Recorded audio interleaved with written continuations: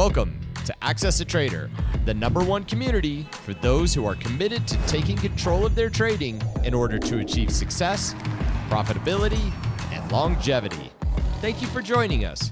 Here's Dan Shapiro to help you find your edge, master your process, and own your future. Hey guys, good evening, everybody. Welcome to another edition of uh, the AccessATrader.com uh, nightly wrap up show. Hope everybody is uh, doing well. Quick update tonight. Got to get my kids to uh, basketball training. So hopefully everybody is doing well. Only thing I ask is if you like, again, what we're doing, like the content, all that good stuff. Uh, again, take a second, uh, like the video, subscribe, all that good social media stuff. And again, I'll try to do my darndest to help you guys out on a day to day basis on a very unbiased way of looking at the market. So, uh, basic uh, basic review. Um, you know, markets continue to do well. You could see uh, continuous uh, upward surges, even the names uh, that rest. And again, you, you, see a lot of names that are resting. Uh, Amazon, after a big run, rested. Microsoft is resting, but again, might be a day away from kind of reclaiming supply. We'll get to that in a second. Netflix, after a big, big uh, breakout in the last couple of days, uh, resting. Uh, so it's very, very important that what we talk about every single day, leaving the ones that had their major breakouts, just leave them alone, right? Leave them alone. Wait for them to come back. So, for example, uh, NVIDIA now has been on a beautiful, beautiful two day run. Uh, yesterday broke out, took every single level. Today, it continued, uh, got all the way up to this 125 level. Look, is it does it have one more day? You know, maybe gets to this 126, 127 level before a, a well-deserved uh, rest. Maybe, right? Maybe. But the point is, try to find names. Uh, that are again coming out of the channels. The last thing you want to do is start chasing price action that a stock broke out 20, 30, 40%. So for example, somebody asked me today, you know, Dan, what do you think about the Qs? And my, my response was, well, they, they broke out above 471. Right now, the Qs after hours, we'll get to that in a second, they're, they're 16 points above the breakout. Again, there's no edge up here, right? There's no edge. This is just continuation of what the stock, what the ETF did technically. And that's what you want to do. You want to avoid the overstretched names. And this is something that a reminder I try to uh, implement on every single night's video to kind of, to make sure that you guys understand you're trying to get the, the bulk of the move, right? You're trying to get uh, the meat of the move. You're not trying to get uh, the last couple of crumbs. You're not trying to get just the, the you know the dessert. You're trying to get the meal. So if you're buying a stock and it's up 15, 20% above its uh, natural breakout level, there's always a higher probability you'll get pulled. Because the stocks that get pulled, and again, doesn't mean that the market's going to go down. It just means that a stock needs a rest. The stock needs a reset. A stock needs a, a, a, a little bit of a, of a floor to get its uh, CLEX together. It's very, very important to understand that. And if you look at the action today, uh, nothing really jumps out, which is a good thing. That's a really, really good thing from the bull case.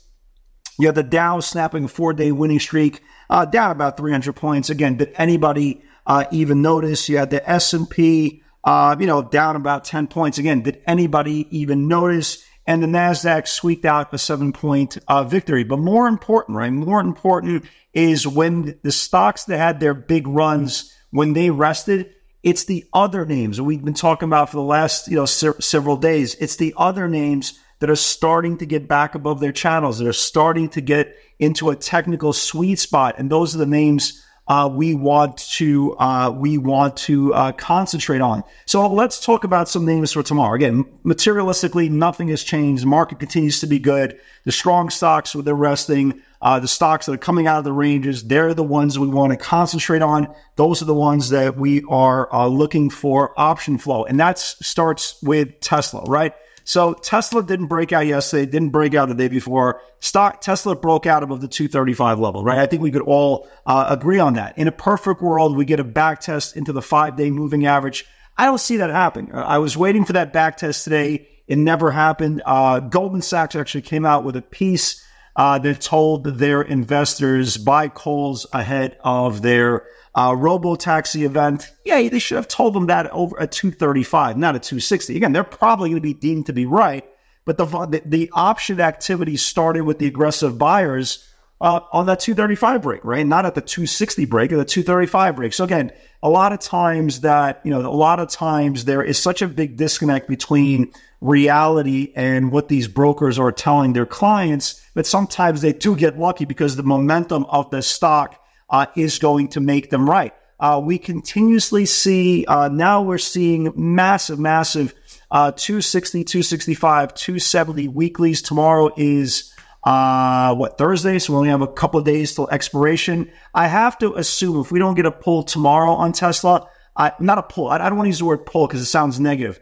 If we don't get a a, a well-deserved back test into rising five-day support, because I want to get long in that support. I'm not saying pull back to as, as a short. I want to get long in that support because the options market is really, really dictating that this thing is going a lot high, right? A lot higher. Again, maybe they're betting uh, that the uh, Robo event will be uh, phenomenal. I, I, don't. I don't care at this point, right? I don't care at this point. There's a lot of momentum in the name. Uh, stock has given us some phenomenal, phenomenal moves. Uh, you know, is there a shot he gets to this 271 level, uh, which is the high from uh, July the 11th on this interval? Yeah, why not? Why not? Right. So I, I do think. Uh in the next two days, that Tesla is going to wake up once again. Again, I'm hoping, I'm hoping we can get some morning weakness just to get a little bit of a washout, to get some uh, get get some cheaper shares on rising support. But again, I don't see that. I don't see that happening. That's how strong the stock is. But I'm definitely looking to uh, re-enter the trade. I don't have a single share on it uh, right now. Um, couple of names to definitely watch for tomorrow, right? Definitely, definitely watch for tomorrow. I want to give you guys some some pretty good setups here.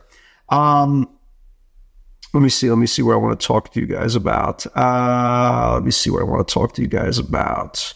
All right. So MU, MU uh, came out with great earnings after the close. Uh, stock is up about 12, 13%. Um, this is not, you know, this is not, um, th- these are all fake prints.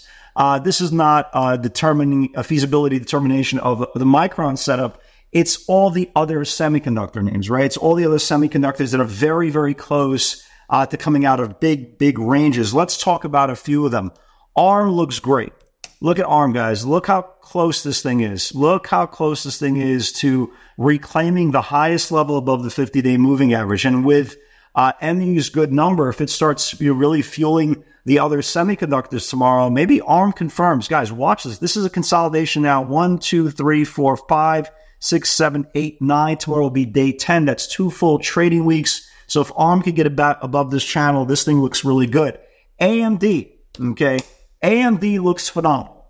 AMD looks phenomenal. They were coming in for uh, the 6250 weeklies, the 170 weeklies. Guys, this is now the first close above this whole supply zone. You see guys? There's nothing left. There's literally nothing left. If AMD can confirm tomorrow, and obviously, again, the Micron, uh, you know, fueling these other semis could be, you know, could be it. Uh, but if AMD confirms today's channel and starts building above the opening range high, guys, look how much room there is. There's no supply uh, all the way up to 174, 175. So that's that one is definitely, definitely on watch uh, for tomorrow. Um, let me give you one more. Look at Chipotle. If this was Tesla, right? If this was Tesla, I would be in this thing with both hands, right? It, it, this is a two week consolidation, really good rest. I'm still waiting for the options market to kind of wake this thing up. I haven't really been seeing any any notable call buyers that are coming into this name. But look at this tight. Look at how tight this flag is. You can't get any tighter. Again, I don't know if this, this trade is imminent.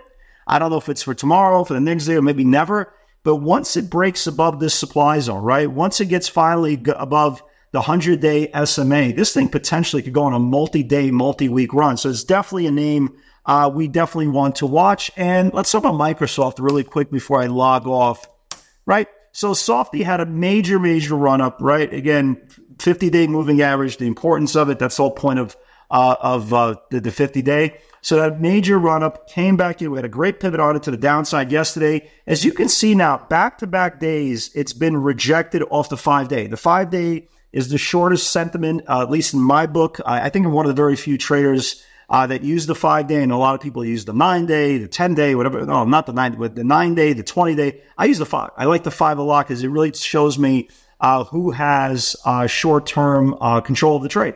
So as you can see here, Microsoft's gotten rejected back to back days above the five day. if it could reclaim back the five day moving average, if you guys notice, this is the first green candle in the last one, two, three, four, five, six days. So what this means is it was a higher close than the open. In the last six days, it were lower closes than the open. So, you know, something, it's something to think about. So if Microsoft could get back above the five day moving average, uh, we can finally start to see uh, upward bias. So again, Tesla looks great. I want to love to see a little bit of weakness tomorrow to get some cheaper shares. Uh, Tesla looks great. Uh, AMD looks great. ARM looks great. Uh, Chipotle, if this thing decides to wake up in this lifetime of the nest, that looks great. But the most important thing, guys, always remember you're not trading the market. You're trading individual names. Guys, God bless everybody. Have a great night. God bless. And with God's help, I'll see you all tomorrow. Take care.